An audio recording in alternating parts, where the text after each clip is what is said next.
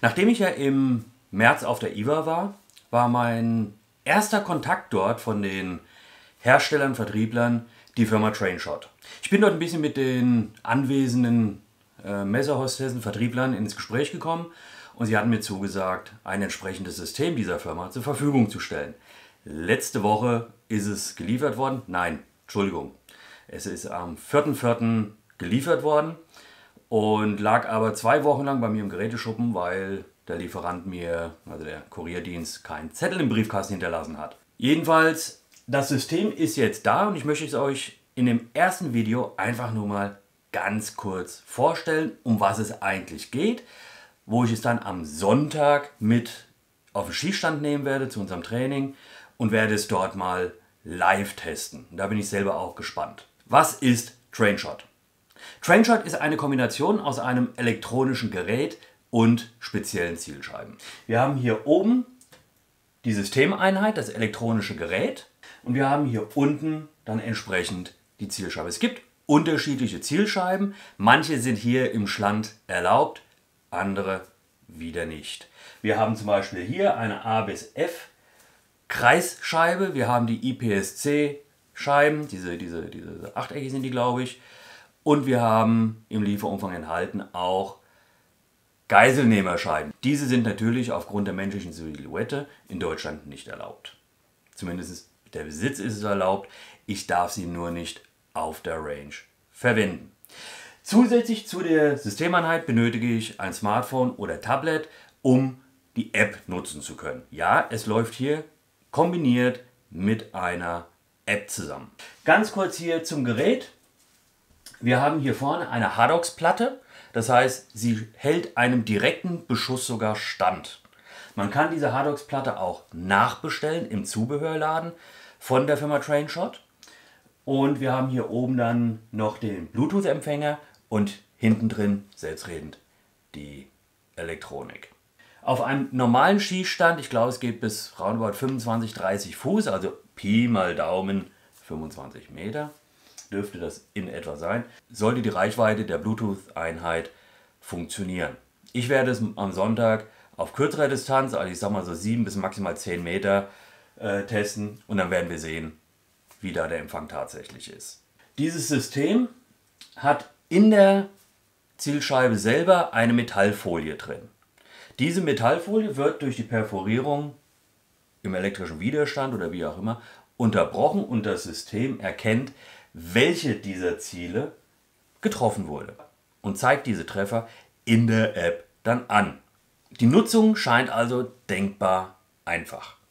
Wir schalten hinten das Gerät an. Da ist ein kleiner Druckknopf. Ja, wo ist er? So, wir sehen, die Lämpchen fangen an so ein bisschen zu blinken. Wenn sie in dem Status dieses leichten Flimmerns sind, dann sind sie quasi im Empfangsmodus. Ich starte die Smartphone-App. Ich habe da auch ein paar äh, Screenshots gemacht und verbinde die Einheit mit der App. Nun habe ich unterschiedliche Trainingsmodis, die ich auswählen kann. Ich habe ein einfaches, nur ein freies Schießen. Wenn ich da mal drauf gehe, dann sehen wir, bildet er auch die entsprechende Zielscheibe ab, die ich verwende. Wir haben im unteren Bereich der Zielscheibe einen QR-Code, über den wir dann die entsprechende Zielscheibe hier mit einscannen können, die verwendet wird. Ziemlich cool. So, dann gehe ich hier unten einfach auf Weiter und dann kann ich sagen, was für ein Training ich verwenden möchte. Möchte ich ein Reaktionstraining machen? Möchte ich ein Stealth-Training machen? Stealth-Training, keine Ahnung, gehen wir mal einfach mal drauf, spaßeshalber, was er mir dann sagt. Jetzt sehen wir, gehen die Lämpchen gehen auf blau und dann sage ich Start. Und jetzt ist letzten Endes kann ich da hinschießen, wo ich hinschießen möchte.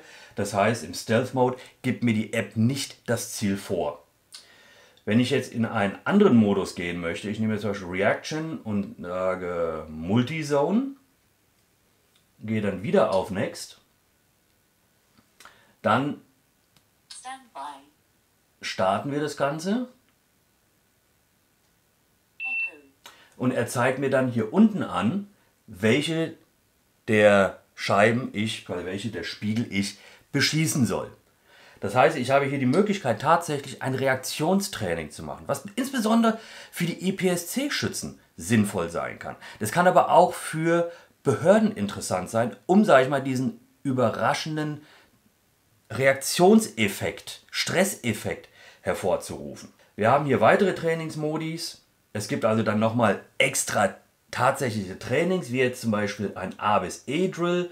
Das heißt, da werden die einzelnen Scheiben werden dann, quasi die einzelnen Zielbereiche werden abgerufen.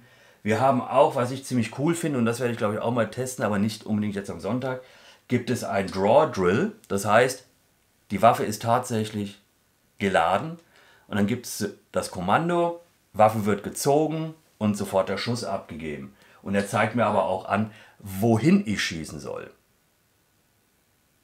Das heißt, hier wird tatsächlich simuliert, ich habe fünf oder zehn Schuss im Tank, ich lade die Waffe durch, holstere sie. Ich bekomme das Kommando, die Waffe wird gezogen, bam, bam, bam, bam, oder zweimal hier, zweimal hier, zweimal hier, zweimal hier, zweimal hier. Das kann man sich, denke ich mal, da aussuchen. Es gibt ein Random Zone Drill. Das heißt, das System entscheidet per Zufallsverfahren, wann ich welchen der Ziele beschießen soll. Alles in allem muss ich sagen, von der, vom Umfang her macht dieses System einen ziemlich coolen Eindruck. Wermutstropfen, ein ganz klein wenig, ist halt, es funktioniert nur mit den speziellen Trainshot-Scheiben. Die muss man sich halt dort nachbestellen. Die gibt es im 10er-Paket, können aber je nach Munition, die verwendet wird, 70 bis 100 Mal wohl beschossen werden. Ist also schon ziemlich enorm und wird wohl einen ziemlich guten Trainingseffekt mit sich bringen, dieses System. Wir werden es sehen im Verlauf des Testszenarios, was ich machen werde. Dieses System ist das Einsteigersystem, das ist das, ist das Starter Kit und liegt preislich, sehr interessant finde ich, bei 249 Euro. Es gibt zwei weitere Kits, die seht ihr jetzt. Wie gesagt, es gibt das Starter Kit, es gibt ein Range Kit. Da habe ich dann die Systemeinheit. Dort wird dann auf der Rückseite, wo die Scheibe montiert wird, wird ein Modul montiert mit einem Kabel, wo ich dann nochmal eine neue Hardox-Platte habe, um eben die Systemeinheit ein bisschen zu schützen und kann das dann höher gelegen haben als die Scheibe selber. Und es gibt ein Long Range Kit, wo ich dann auch mit einem Range Extender für das Bluetooth beliefert werde, dass ich also tatsächlich auch die lange Distanz zurücklegen kann. Wie praktikabel jetzt letzten Endes die App sein wird, in dem Moment zum Beispiel auch die Ansage der, der Kommandos, wo soll ich denn hinschießen? Weil ich finde es jetzt ein bisschen uncool, wenn ich entweder die ganze Zeit mit dem Handy da stehen muss und ein Handy schieße. Das wäre ein bisschen unglücklich. Das werde ich aber dann tatsächlich am Sonntag dann sehen, wenn ich das System mal teste und was ich hier innerhalb der Einstellungen so alles einstellen werde. In diesem Sinn, das ist das Trainshot Trainingssystem, hergestellt und vertrieben über die Slowakei. Also gar nicht mal so weit weg von uns hier in Deutschland. Also es gibt auch Sachen, die hier aus unserem Bereich, Leute, gekommen und ziemlich cool sind. Und ich denke mal, für 249 Euro, dafür, dass ich hier ein quasi schusssicheres System habe, bei dem ich alle Bauteile austauschen kann, wenn sie mal kaputt gehen. Zum Beispiel ein direkter Treffer oben auf den Bluetooth-Empfänger oder so. Das könnte natürlich blöd sein, wenn ich dann die komplette Einheit tauschen müsste für 250 Euro. Nein, ich kann die Bauteile nachkaufen und kann sie dann einfach austauschen. Munitionstechnisch gibt der Hersteller vor, also Trainshot, nur Metallmunition, sprich 9 mm, 45 etc. Und Kleinkalibermunition wird auch genommen, aber nur mit einer Erkennungsrate von ca. 85% bei der Kleinkaliber. Bei allen anderen Vollmantelgeschossen liegen wir bei 99% Erkennungsrate.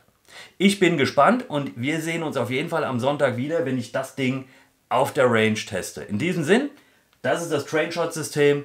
Ziemlich geile Geschichte.